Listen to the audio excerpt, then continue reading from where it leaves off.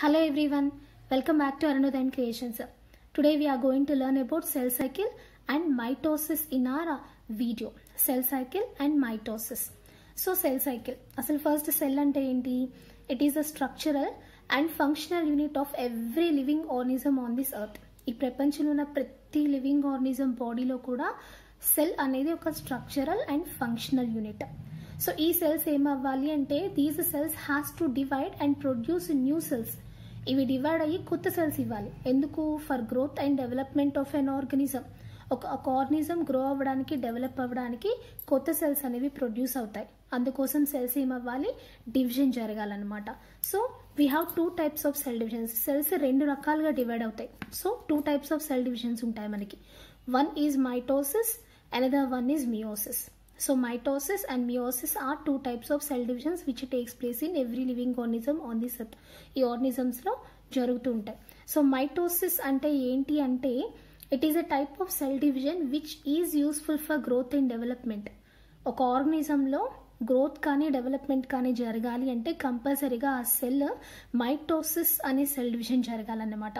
Mitosis so మనకి ఏమైనా బాడీలో రిపేర్స్ జరగాలన్నా ఇంజురీస్ జరిగిన తర్వాత మళ్ళీ మనకి వాన్ అవుట్ సెల్స్ అంటే ఇంజూరీ జరిగిపోయిన సెల్స్ అన్ని కొత్తగా ప్రొడ్యూస్ అవ్వాలన్నా అవన్నీ కూడా మైటోసిస్ అనే ప్రాసెస్ ద్వారానే జరుగుతాయి అన్నమాట next meiosis so it is a type of cell division which is useful for production of gametes so gametes ఉంటాయి కదా మనకి. మేల్స్లో వచ్చేసరికి స్పర్మ్స్ ఫీమేల్స్లో ఓవమ్ అదే ఫ్లాస్లో అయితే ఓవ్యూల్స్ యానిమల్స్లో అయితే ఓవా ప్రొడ్యూస్ అవుతాయి కదా. సో అలా గ్యామెట్స్ ప్రొడ్యూస్ అవ్వాలి అంటే అప్పుడు సెల్స్ ఏం జరుగుతాయంటే మ్యోసిస్ అనే సెల్ డివిజన్ జరుపుకుంటాయి. సో ఒకటి వచ్చేసరికి ఫర్ గ్రోత్ అండ్ డెవలప్మెంట్ ఇంకొకటి వచ్చేసరికి cell division it is useful for perpetuation of race.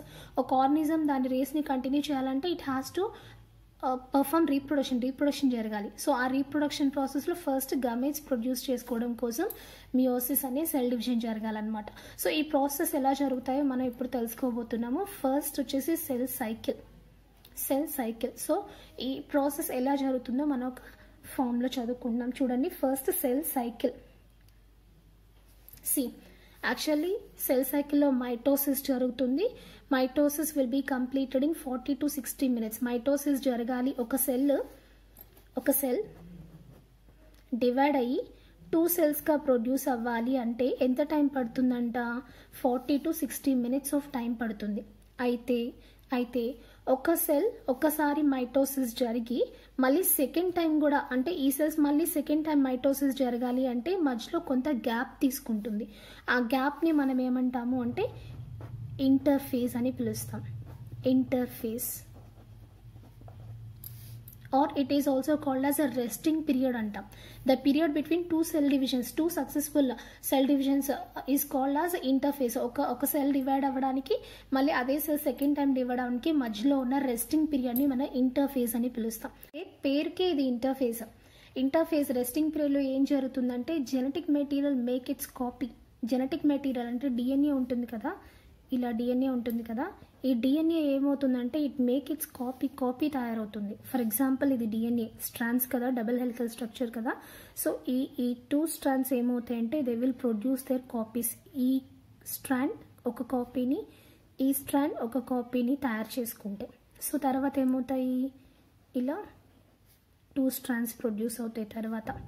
So అలా ఒక డిఎన్ఏ మాలిక్యూల్ కాపీని ప్రొడ్యూస్ చేసుకుని టూగా మారుతాయి అన్నమాట so that after mitosis mitosis జరిగిపోయిన తర్వాత we'll get two daughter cells రెండు డాటర్ సెల్స్ వస్తాయి మనకి. సో ఆ టూ డాటర్ సెల్స్కి కూడా ఈ టూ డిస్ట్రిబ్యూట్ అవ్వడానికి వీలుగా ఏమవుతుందంటే ఇంటర్ఫేస్లో genetic material makeup I mean copy జరుగుతూ ఉంటుంది అనమాట ఓకేనా సో ఇంటర్ఫేస్ అంటే ఏంటి? It is the resting period between two successive mitosis. Mitosis రెండు జరిగేటప్పుడు మధ్యలో ఉన్న పీరియడ్ని రెస్టింగ్ పీరియడ్ అంటాము. ఈ రెస్టింగ్ పీరియడ్లో జెనెటిక్ మెటీరియల్ అంటే డిఎన్ఏ ఏమవుతుంది? కాపీ అవుతుంది అనమాట నెక్స్ట్ వచ్చి టూ డాటర్ సెల్స్కి ఈక్వల్గా డిస్ట్రిబ్యూట్ అవ్వడానికి. సో ఇంటర్ఫేజ్లో మనకి మళ్ళీ త్రీ ఫేజెస్ ఉంటాయి. ఏంటి అంటే G one phase S phase and G two phase ఫైనల్గా ఈ త్రీ ఫినిష్ అయిపోయిన తర్వాత అప్పుడు మనకి మైటోసిస్ స్టార్ట్ అవుతుంది. అసలు త్రీ ఫేజెస్ అంటే ఏంటో చూద్దాం చూడండి. First one is G one phase G one అంటే gap one phase gap one అంటే ఏంటి? ఈ పీరియడ్ ఏంటి అంటే it is the period which is between first mitosis so first mitosis అయిపోయిన తర్వాత అండ్ సెకండ్ మైటోసిస్లో మనం జెనెటిక్ మెటీరియల్ కాపీ అవుతుందని చెప్పుకున్నాం కదా అంటే ఎక్కడ కాపీ అవుతుంది? ఎస్ ఫేజ్లో కాపీ అవుతుంది. సో సెకండ్ మైటోసిస్కి సంబంధించిన ఎస్ ఫేజ్కి మధ్యలో ఉన్న గ్యాప్ పీరియడ్ని జీవన్ ఫేజ్ అని పిలుస్తాం. అర్థమవుతుంది కదా? ఒక సెల్ ఫస్ట్ మైటోసిస్ ఫినిష్ అయిపోయింది. సెకండ్ టైం మైటోసిస్ అవ్వడం కోసం ఆ సెకండ్ మైటోసిస్లో ఎస్ ఫేజ్ అంటే డిఎన్ఏ సింథసైజ్ డిఎన్ఏ మేకప్ అయ్యే ఫేజ్కి మధ్యలో ఉన్న గ్యాప్ పీరియడ్ని మనం జీవన్ ఫేజ్ అని పిలుస్తాం. సో ఇది ఎంత? Usually ten point five hours time తీసుకుంటుంది గ్యాప్ ఫేజ్ నెక్స్ట్ సెకండ్ వచ్చేసరికి మనకి సింథసిస్ ఫేజ్ స్టార్ట్ అవుతుంది. అంటే మనం పైన చెప్పుకున్నట్టు డిఎన్ఏ మాలిక్యూల్ ఏమవుతుందంటే కాపీ స్ట్రాన్స్ ప్రొడ్యూస్ అవుతాయి అన్నమాట కాపీ స్ట్రాన్స్ సో దాన్ని synthesis period or synthesis phase అని పిలుస్తాం. ఇందులో డూప్లికేషన్ ఆఫ్ క్రోమోజోమ్స్ జరుగుతాయి. ఇది కూడా usually ten point five hours తీసుకుంటుంది టైం ఆ తర్వాత మనకి జీ టూ ఫేజ్ స్టార్ట్ అవుతుంది అంటే గ్యాప్ టూ ఫేజ్ అనమాట గ్యాప్ టూ ఫేజ్ అంటే ఏంటి అంటే ఎస్ ఫేస్ ఫినిష్ అయిపోయాక మనకి మైటోసిస్ జరగడానికి అంటే సెకండ్ టైం మైటోసిస్ జరగబోతుంది కదా సెల్ దీనికి మధ్యలో ఉన్న గ్యాప్ పీరియడ్ని జీ టూ ఫేజ్ అని పిలుస్తాం. జీ టూ ఫేజ్ అర్థమవుతుంది కదా? జీ టూ ఫేజ్ అంటే సింథసిస్ డిఎన్ఏ డూప్లికేషన్ ఫినిష్ అయిపోయాక సెకండ్ టైం మైటోసిస్ జరగడానికి మధ్యలో తీసుకున్న గ్యాప్ పీరియడ్ని జీ టూ ఫేజ్ అని పిలుస్తాం. జీ వన్ అంటే ఫస్ట్ మైటోసిస్కి సెకండ్ మైటోసిస్లో ఉన్న ఎస్ ఫేజ్కి మధ్యలో ఉన్న గ్యాప్ జీ టూ అంటే సింథసిస్ అంటే ఎస్ ఫేజ్కి సెకండ్ టైం మైటోసిస్ జరగడానికి మధ్యలో ఉన్న గ్యాప్ పీరియడ్ని జీ టూ ఫేజ్ అని పిలుస్తాం. ఇది త్రీ పాయింట్ ఫైవ్ అవర్స్ జరుగుతుందనమాట సో ఇదంతా ఫినిష్ అయిపోయిన తర్వాత then the cell is ready to undergo mitosis mitosis అనే డివిజన్కి రెడీగా ఉంటుంది సెల్ సో మైటోసిస్ ఎలా జరుగుతుందో చూద్దాం ఇప్పుడు.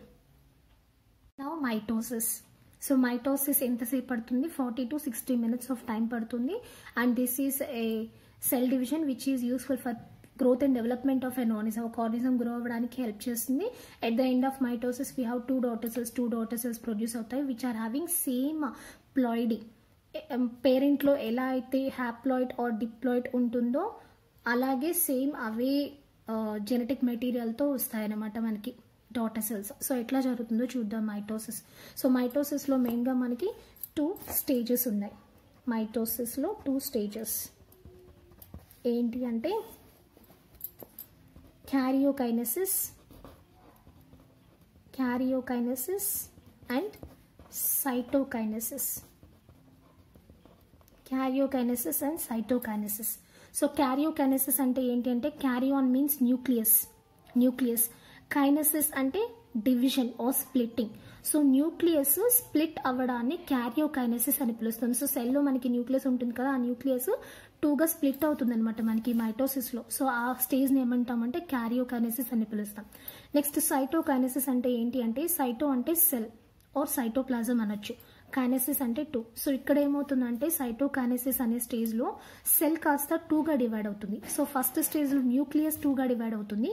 సెకండ్ సైటోకైనసిస్లో సెల్ టూగా డివైడ్ అవుతుంది అనమాట సో ఇలా మైటోసిస్లో మనకి టూ స్టేజెస్ ఉన్నాయి karyokinesis and cytokinesis so karyokinesis start చేసుకుందాం. క్యారియోకైనసిస్లో again we have four phases prophase metaphase anaphase and telophase these are the four phases in karyokinesis so nucleus ఫోర్గా ఇలా డివైడ్ అవుతుంది అనమాట ఎట్లా డివైడ్ అవుతుందో ఒక్కొక్క ఫేజ్లో ఏం జరుగుతుందో చూద్దాం. First phase in karyokinesis is prophase prophase so ప్రోఫేజ్లో ఏం జరుగుతుంది అంటే సో ఇన్ ప్రోఫేస్ ప్రోఫేస్ స్టేట్లో ఏం జరుగుతుందో చూద్దాం. First we have this is the cell ఇది cell so this cell is covered with cell membrane this is plasma membrane or cell membrane and సెల్లో this is nucleus which is covered with nuclear membrane and these are all chromosomes ఇవన్నీ chromosomes అయితే ఇనీషియల్గా cell ఇలా ఉండదు. ఎట్లా ఉంటుంది అంటే imagine that this is cell ఇది సెల్ అయితే న్యూక్లియస్ ఉంది కదా. This nucleus is there but nuclear membrane will disappear nuclear membrane ఏమవుతుంది? డిజపియర్ అయిపోతుంది. Nuclear membrane will disappear and this nucleus contains nucleolus. మనం నైన్త్ క్లాస్లో చదువుకున్నాం. Nucleus has a dark staining body called as nucleolus అని చెప్పుకున్నాం. So nucleolus ఉంటుంది కదా. This nucleolus becomes very very small and becomes invisible here so prophase స్టేట్కి వచ్చేసరికి మనకి న్యూక్లియోలస్ ఇన్విజిబుల్ అయిపోతుంది స్మాల్గా అండ్ ఇక్కడ క్రోమోజోమ్స్ ఉన్నాయి కదా but initially we have a diffused network of thread like structures called as chromatin material so మనకి స్టార్టింగ్లో chromatin material ఉంటుంది. It is in decondensed state decondensed state chromatin material అంటే genetic material అనమాట ఎట్లా ఉంటుంది అంటే ఒక గజిబిజిగా ఉన్న దారం ఎట్లా ఉంటుంది? అలా ఉంటుందన్నమాట. జెనెటిక్ మెటీరియల్ దాన్ని మనం క్రొమాటిన్ మెటీరియల్ అని పిలుస్తాం. On the onset of division ఎప్పుడైతే మైటోసిస్ స్టార్ట్ అవుతుందో అప్పుడు this chromatin material becomes condensed condensed అంటే మొత్తం దగ్గర దగ్గరికి వచ్చేసి జెనెటిక్ మెటీరియల్ మొత్తం. ఇట్ అటైన్స్ సమ్ షేప్ ఒక షేప్ వస్తాయి అనమాట వాటిని మనం క్రోమోజోమ్స్ అని పిలుస్తాం. క్రోమోజోమ్స్గా ఒక షేప్కి వస్తాయి. ఇలాగా. ఇలా ఒక క్రోమోజోమ్ షేప్గా వస్తాయన్నమాట so every chromosome contains a centrally located structure called as a centrosome centrosome అనే ఒక సెంట్రల్ లొకేటెడ్ స్ట్రక్చర్ ఉంటుంది. And it has a two arm like structures called as chromatids chromatid chromatid అని పిలుస్తాం అనమాట ఇలా ఉంటుంది క్రోమోజోమ్ ఇక్కడ diffused network of genetic materials called as chromatin which is in decondensed state and on the onset of mitosis mitosis ఎప్పుడైతే start అవుతుందో అప్పుడు ఈ chromatin material becomes condensed condense అంటే దగ్గర దగ్గరికి వచ్చేసి ఒక షేప్లోకి వస్తాయి. వాటిని మనం క్రోమోజోమ్స్ అని పిలుస్తాము. Each chromosome contains centrally located structure called as a centromere centromere ఉంటుంది. అండ్ ఈ సెంట్రోమియర్కి టూ ఆమ్ లైక్ స్ట్రక్చర్స్ ఉంటాయి. వాటిని క్రోమాటిడ్స్ అని పిలుస్తాం. అండ్ దీస్ క్రోమోజోమ్స్ ఈ క్రోమోజోమ్స్ ఏమవుతాయంటే డ్యూరింగ్ ప్రోఫేస్ ప్రోఫేస్ టైంలో దే స్ప్లిట్ లాంగిట్యూడినల్లీ ఇలా లాంగిట్యూడినల్గా స్ప్లిట్ అవుతాయి. లాంగిట్యూడినల్ అంటే తెలుసు కదా మీకు? లెంత్ వైజ్గా ఇలా స్ప్లిట్ అవుతాయి అన్నమాట. స్ప్లిట్ అయ్యి ఏమవుతాయంటే each centromere has four arms now అంతేగా?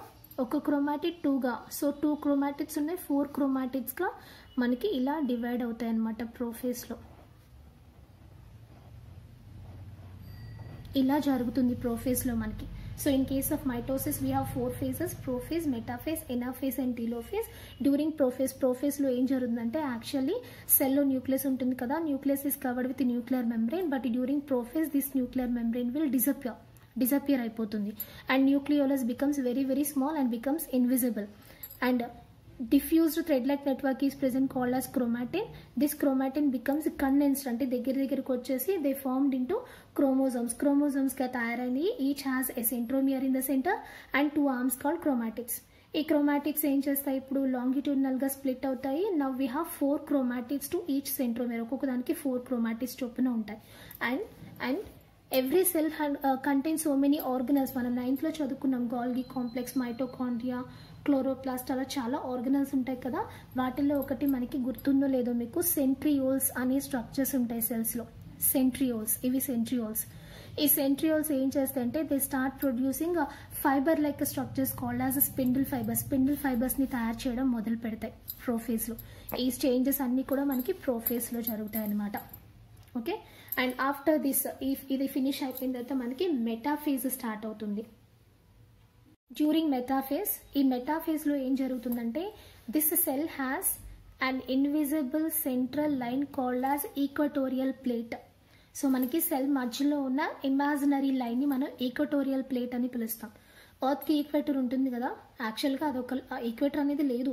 బట్ మనం ఒక సెంటర్ ఇమాజిన్ చేసుకుని ఒక లైన్ని మనం ఈక్వేటర్ అనుకుంటున్నాం. సేమ్ అలాగే ఇక్కడ కూడా సెల్లో మనకి ఒక ఇమాజినరీ సెంట్రల్ లైన్ అనుకోవాలి. దాన్ని ఈక్వటోరియల్ ప్లేట్ అని పిలుస్తాం. Equatorial plate.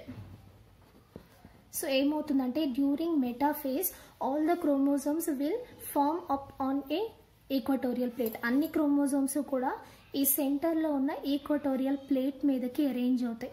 That to they centromeres are arranged on equatorial plate and chromatics are present towards two opposite poles equatorial plate మీదేమో క్రోమోజోమ్స్కి ఉన్న సెంట్రోమియర్స్ ఉంటాయి అండ్ ఆపోజిట్ పోల్స్ వైపు ఏమో ఈ క్రోమాటిక్స్ అరేంజ్ అయి ఉంటాయి అనమాట ఇలా అరేంజ్ అవుతాయి మెటాఫేజ్లో all the chromosomes will line up on a equatorial plate with centromeres in the centre and chromatics towards the poles and now already spindle fibre formation started in prophase ప్రోఫేస్లో start అయింది కదా?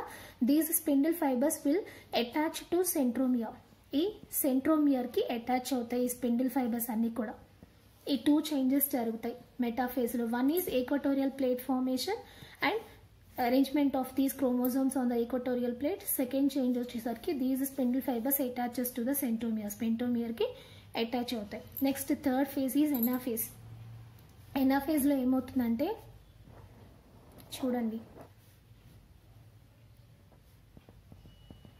Already spindle fibres are attached to centromere సెంట్రోమియర్కి attach అయినాయి కదా.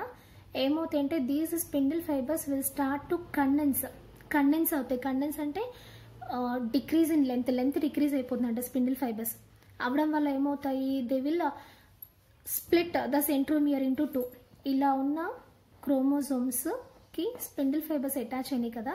ఇప్పుడు ఈ spindle fibres ఏం చేస్తాయంటే they will pull backward ఇటువైపు ఉన్న స్పిండిల్ ఫైబర్ వెనక్కి ఇటువైపు ఉన్న స్పిండిల్ ఫైబర్ వెనక్కి లాగడం వల్ల ఈ సెంట్రోమియర్ ఏమవుతుందంటే టూగా స్ప్లిట్ అయిపోతుంది సెంటర్కి. ఏమవుతుంది? Half centromere with two chromatics one pole వైపు half centromere with two chromatics one side వైపు. అలా ఆపోజిట్ పోల్స్కి క్రోమోజోమ్స్ అనేది పుల్ అవుతాయి అనమాట సో ఇది ఎనాఫేజ్లో జరుగుతుంది. ఎనాఫేజ్లో the spindle fibres will start to condense condense అంటే దగ్గర దగ్గరికి వెళ్ళి ఆక్కుని పోతాయి. దానివల్ల centromeres will split into half two హాఫ్స్గా divide అయ్యి the chromosomes will move to opposite poles opposite పోల్స్కి వెళ్ళిపోతాయి అనమాట అటు సైడ్ కొన్ని ఇటు సైడ్ కొన్ని పుల్లప్ అయిపోతాయి. ఇది ఎన్నా ఫేజ్లో జరుగుతుంది. లాస్ట్ టీలో ఫేజ్లో వచ్చేసరికి ఏవైతే ప్రోఫేజ్లో జరిగాయో చేంజెస్ వాటికి క్వైట్ ఆపోజిట్ జరుగుతాయి టీలో ఫేజ్లో మనకి. అంటే ఏమవుతుంది అంటే ఇక్కడ చూడండి మనకి సెల్లో. ఇప్పుడు మనకి వన్ సైడ్ క్రోమోజోమ్స్ అండ్ కింద సైడ్ కూడా మనకి క్రోమోజోమ్స్ ఉన్నాయి కదా. సో ఇక్కడ ఏమవుతుందంటే the nuclear membrane disappeared in prophase కదా. The nuclear membrane will reappear around genetic material. మళ్ళీ న్యూక్లియర్ మెంబ్రెయిన్ రీఅపియర్ అవుతుంది. న్యూక్లియోలస్ బికేమ్ స్మాల్ కదా. న్యూక్లియోలస్ అగైన్ ఎపియర్స్ మళ్ళీ రీఅపియర్ అవుతుంది న్యూక్లియోలస్.